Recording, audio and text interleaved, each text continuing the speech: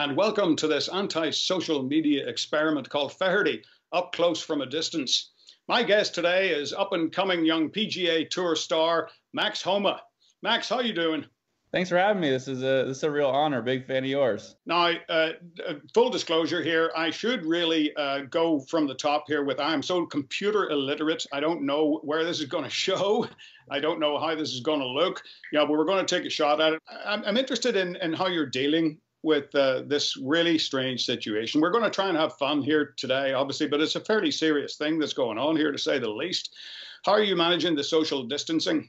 Yeah, uh, doing great. Uh, just been mostly staying inside. Uh, went and hit balls yesterday from a very safe distance from everyone, about 30 yards. So uh, trying to keep my sanity. Uh, I think, like everybody, I'm going through waves of uh, I can't believe this is actually happening, and the more positive we're going to get through it, and it's all going to be good once we come out the other side. But it's definitely tough. Uh, I miss I miss playing golf with my buddies. Uh, miss competing, but I mean everyone's going through it. So uh, just trying to enjoy this time I have with my family, I guess, and uh, and just wait till we get the okay to go start traveling around the country again.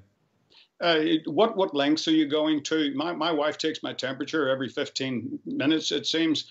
Um, I mean, do you have to sanitize your balls before you hit them? I might need to start doing that. If it gets any worse, I might have to go to that. I need like a Bryson Spritz uh, spray bottle guy to spray it with sanitizer. So, um, yeah, I've, I've gone through lengths. I've been just trying to really isolate myself from people. Obviously, not touching anybody with my hands or anything like that. Uh, just trying to listen and and uh, keep up with what the CDC's been saying. Um, you know, it's been difficult as far as not be able to leave the house, but um, fortunately uh, we had gotten some provisions here and there. So we've been watching a lot of TV, uh, taking my dog on a lot of walks, uh, not let, let, letting anybody pet her. So everybody's been keeping that six foot uh, distance that they suggest. What what kind of a dog have you got?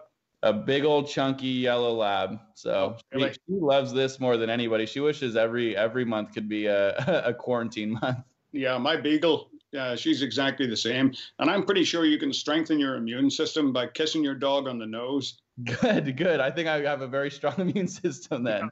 Yeah, me too. uh, tell me, uh, now uh, at high school, I'm always interested in, in what kind of a pupil you know, my, my subjects were you, you end up being a professional golfer. I, I didn't graduate high school, and uh, uh, it, it worked out for me. Um, what what sort of a student were you? Um, I guess I was the type of student where if you were teaching me something I had a big interest in, I, I did well in it. And if I couldn't see an application in my life to that subject, I, I was not a good student. So unfortunately, I guess that would make me uh, a kind of a punk kid in high school as far as uh, thinking I knew more than than the teachers, which is obviously wildly inappropriate. that that is such a common denominator, though, with with my guests, especially the athletes uh, the, if something interested them at school, uh, there were, I mean, music and English were the only two things that I was interested in, and the only two things that I was halfway good at. You know, so I mean, I think it has something to do with the attention deficit side yeah. of it. Uh, you know, if it, if it interests you, you can pay attention. If it doesn't, you know, you, you might as well, you know, blow it out of your ass yeah, kind of like I mean, it's like a TV show. Some TV shows start off slow. Some people get, you know, they're they're over it, and if it starts out hot, you're locked in. It's I mean, it would be the same thing with any. Obviously, like you do a lot of these uh, interviews. If the interview falls flat early, people like me would probably doze off. Uh, some people might be able to hang in there, but that's what makes you so good at it. Is it usually, you know, is is good from beginning to end. But that's that's unfortunate that so many of us just have such a, a six second time time span of focus these days. Yeah.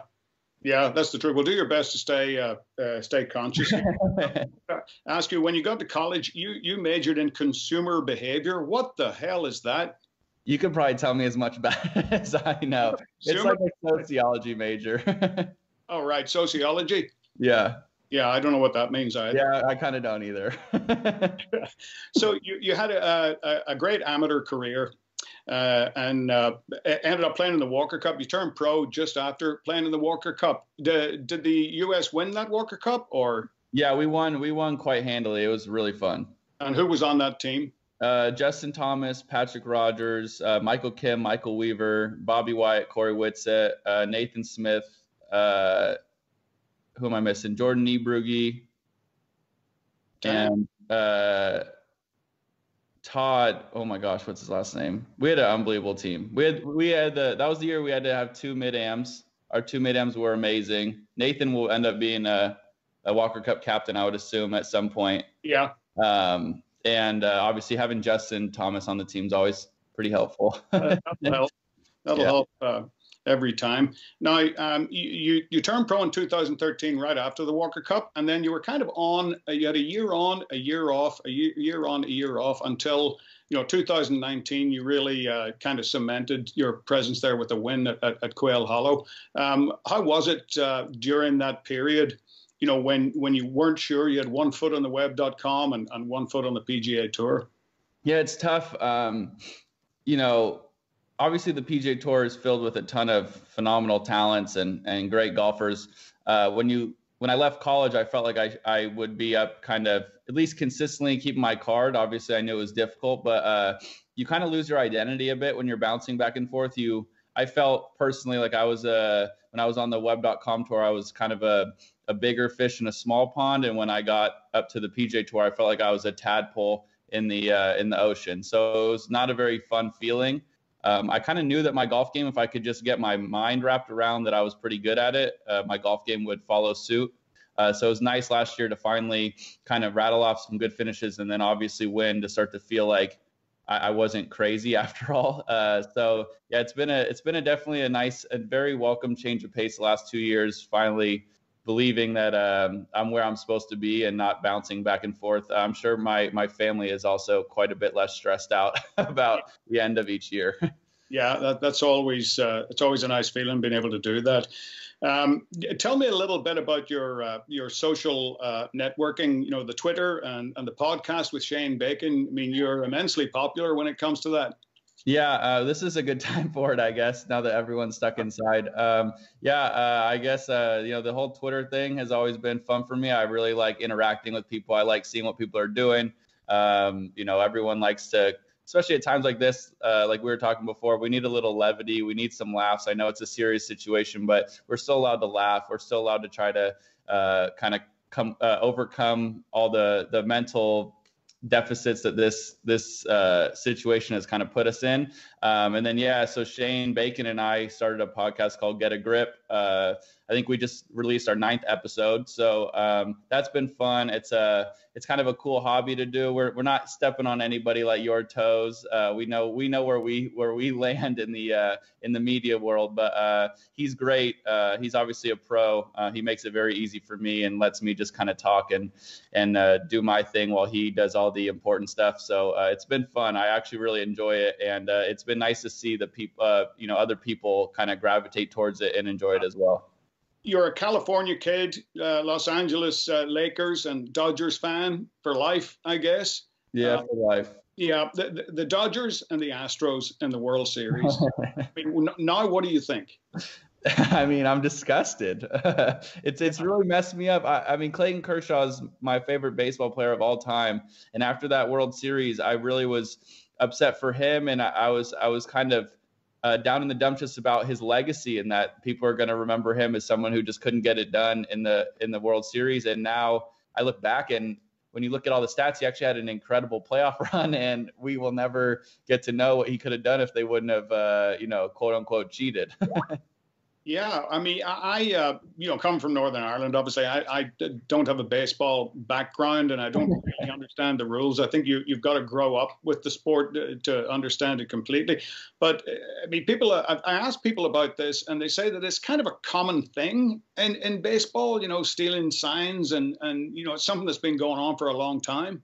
Yeah, it it is. Except usually you don't uh, hire the people uh, who are uh, giving a live feed to then send it down to your locker room. Um, you know, I think uh, what a lot of people have kind of come to grips with is, uh, you know, the sign stealing. If you're on second base, for instance, and you see the sign and you go back and tell your teammate that's just part of the game. But when you are uh, when you have you know electronics involved. I think that's when it becomes a bit more when you put a buzzer under your shirt so that somebody can zap you when the certain pitch is coming. I feel like that's that's a little little more cheating than uh, yes. than not. So I get the gamesmanship of, of other ways of the of the game. I know that there's unwritten rules and um, and all that, but but th- in this instance, it definitely feels a lot. It would be like if I was taking a test in high school in a class that we would both struggle in, and uh, I had a something on my on me where my friend could buzz me once for to answer A, two for B, three for C, and four for D. That would that I think I would get expelled from school for that. So I, I would. Yeah, though. Yeah, it is a good. idea. listen, I got a good idea, but I was probably paying more attention to that in school than I was actually the class. So maybe that's why I didn't do so great. Well, um, you, you're uh, you become famous for giving people a hard time about their swings.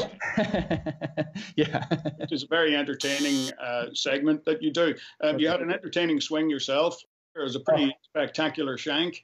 Yeah, that was uh, that was not the best timing. See, that's the issue I've realized with this whole swing roast thing is uh, at some point I am going to get myself on TV and it's not going to be very good, and I am very exposed to uh, to the powers that be uh, on uh, social media. So that was unfortunate. so yeah, you, are constantly giving these poor schmoes, uh, you know, a hard time about their swing. Uh, we're, we're going to show you my swing from the '94 Open Championship at Turnberry here, and uh, I want you to critique that for me, and and please be gentle.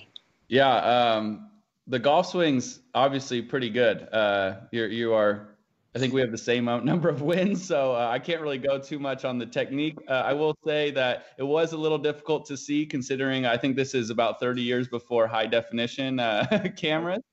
Um, also, uh, I was wondering if Titleist paid you less because your hair and that visor covered about half of the logo. I didn't know if that if that, that that big poofy hair uh, oh, had anything to do with your uh, your uh, diminished contract. Those, those were the 90s. It wasn't actually a haircut, was my head blowing bubbles. That's very fair. yeah.